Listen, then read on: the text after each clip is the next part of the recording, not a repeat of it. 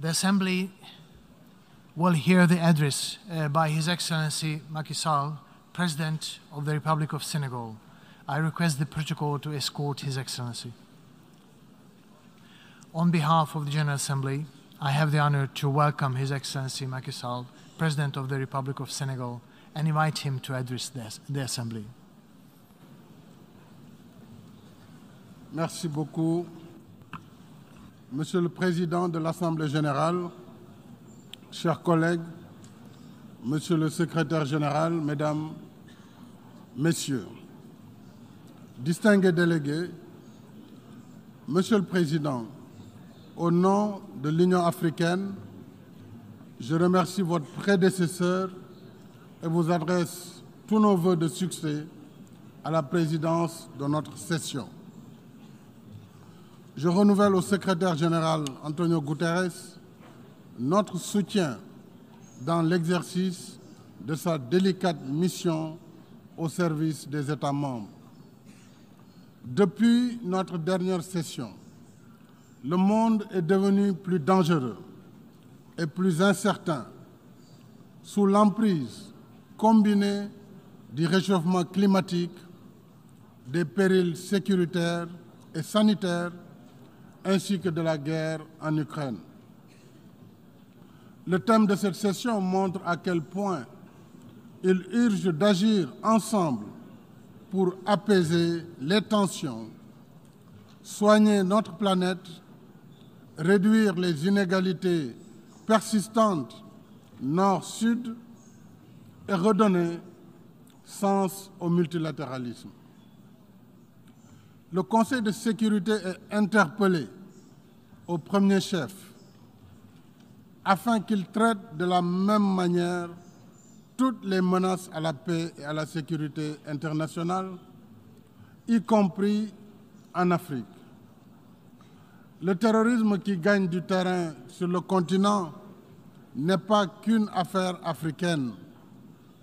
C'est une menace globale qui relève de la responsabilité première du Conseil, garant du mécanisme de sécurité collective en vertu de la charte de l'organisation. Ainsi, invitons-nous le Conseil à mieux s'engager avec nous dans la lutte contre le terrorisme en Afrique avec des mandats plus adaptés et des moyens plus conséquents. En outre, l'Union africaine appelle une fois de plus à la levée des sanctions étrangères contre le Zimbabwe. Ces mesures sévères continuent de nourrir un sentiment d'injustice contre tout un peuple et d'aggraver ses souffrances en ces temps de crise profonde. Au Proche-Orient, nous réitérons le droit du peuple palestinien à un État viable, coexistant pacifiquement avec l'État d'Israël, chacun à l'intérieur de frontières sûres et internationalement reconnues. Nous appelons à la désescalade et à la cessation des hostilités en Ukraine pour une solution négociée afin d'éviter le risque catastrophique d'un conflit potentiellement mondial. La négociation et la discussion sont les meilleures armes dont nous disposons pour promouvoir la paix. Je lance un appel pour la mise en place d'une mission de médiation de haut niveau à laquelle l'Union africaine est prête à apporter sa contribution. Près de 80 ans après la naissance du système des Nations Unies et des institutions de Bretton Woods, il est temps d'instaurer une gouvernance mondiale plus juste, plus inclusive et plus adaptée aux réalités de notre temps. Il est temps de vaincre les réticences et de construire les narratifs qui persistent à confiner l'Afrique à la marge des cercles décisionnels. Il est temps de faire droit à la juste et légitime revendication africaine sur la réforme du Conseil de sécurité telle que reflétée dans le consensus d'Iselweni. Dans le même esprit, je rappelle notre demande d'octroi d'un siège à l'Union africaine au sein du G20 pour que l'Afrique puisse enfin se faire représenter là où se prennent les décisions qui engagent 1,4 milliard d'Africains. Je remercie chaleureusement les partenaires qui nous ont déjà exprimé leur soutien et invite les autres à considérer favorablement notre candidature. Au titre de la gouvernance économique et financière, j'attire l'attention de l'Assemblée générale sur le rapport 2022 sur le financement du développement durable, réalisé par une soixantaine d'institutions multilatérales dont le Fonds monétaire international, la Banque mondiale, le comité de Bâle sur la supervision bancaire, l'Association internationale des régulateurs de l'assurance et le Conseil de stabilité financière. Ce rapport relève les insuffisances dans les procédés d'évaluation des agences de notation et souligne l'importance d'appliquer des méthodologies transparentes afin de ne pas miner la confiance dans les notations. Nous sommes préoccupés par le fait que la perception du risque en Afrique continue d'être plus élevée que le risque réel, ce qui renchérit les primes d'assurance et pénalise la compétitivité de nos économies. C'est pourquoi l'Afrique renouvelle sa proposition au groupe de réponse à la crise mondiale sur l'alimentation, l'énergie et les finances afin qu'il engage, en rapport avec le G20, le FMI et la Banque mondiale, un dialogue constructif avec les agences de notation sur l'amélioration de leurs méthodes de travail et d'évaluation. Dans le même esprit, face à l'ampleur inédite de la crise économique mondiale, l'Union africaine réitère son appel pour la réallocation partielle des droits de tirage spéciaux, si nécessaire pour les pays en développement dans un premier temps, et la mise en œuvre de l'initiative du G20 de suspension du service de la dette. Ce choc, mesdames et messieurs, sans précédent, fragilise davantage les économies les plus faibles et rend encore plus pressant leurs besoins en liquidité pour atténuer les effets de l'inflation généralisée et soutenir les ménages et les couches sociales les plus vulnérables, notamment les jeunes et les femmes.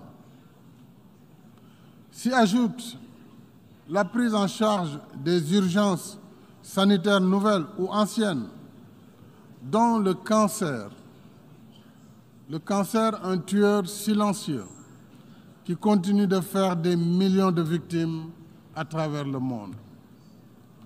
J'appelle à la mobilisation en faveur de la campagne Race of Hope de l'Agence internationale de l'énergie atomique pour le renforcement des capacités des pays membres, africains en particulier, dans la lutte contre le cancer grâce aux technologies nucléaires telles que l'imagerie médicale, la médecine nucléaire et la radiothérapie. Monsieur le Président, Mesdames et Messieurs, à quelques semaines de la COP27 de Sharm en Égypte, l'Afrique renouvelle son attachement à l'accord de Paris sur le climat.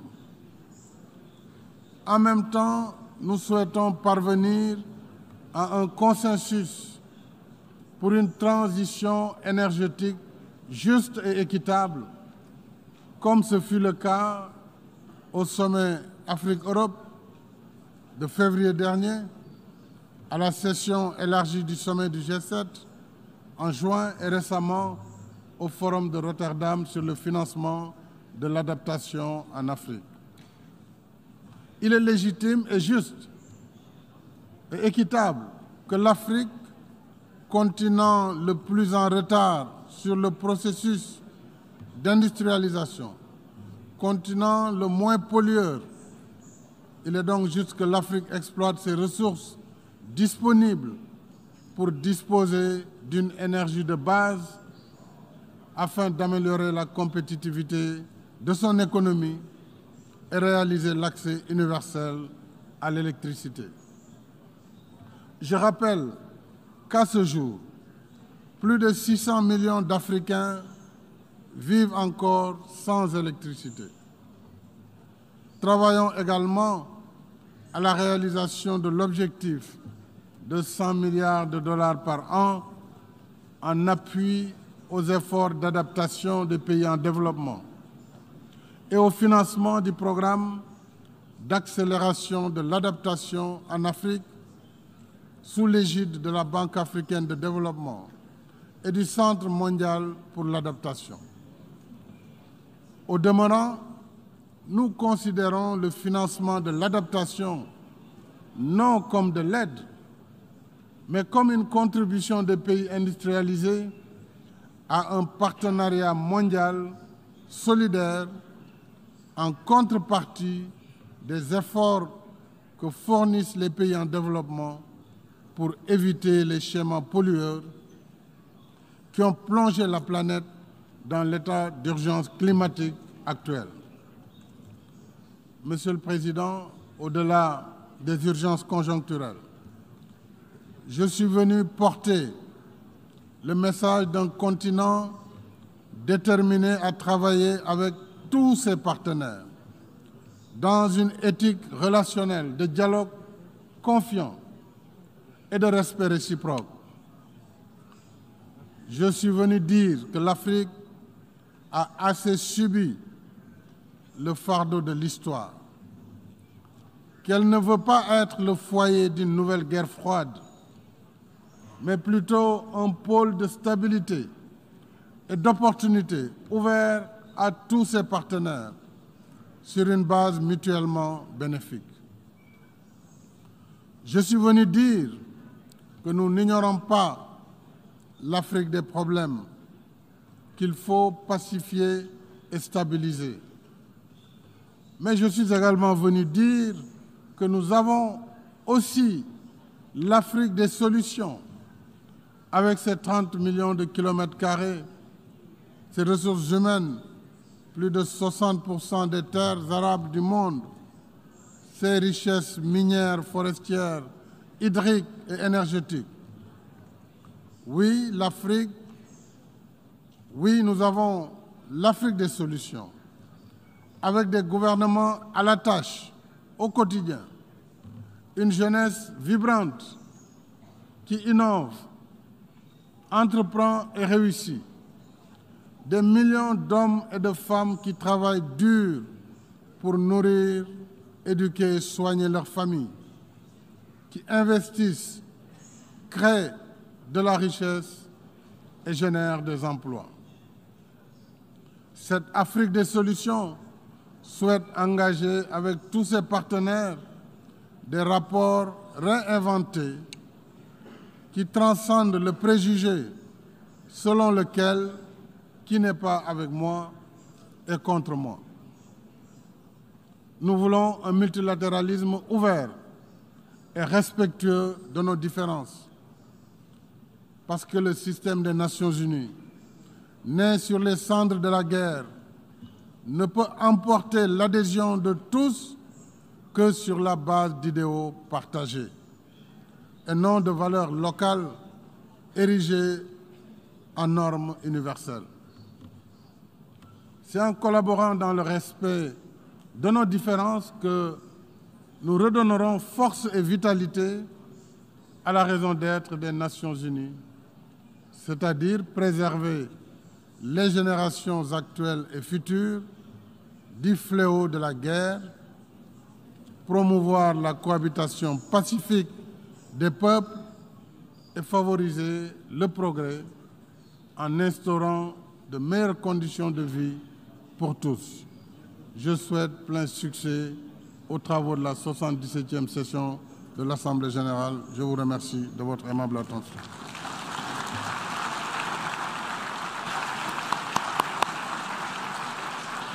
On behalf of the, of the Assembly, I wish to thank the President of the Republic of Senegal for the statement just made, and I request the protocol to escort His Excellency. And the Assembly will hear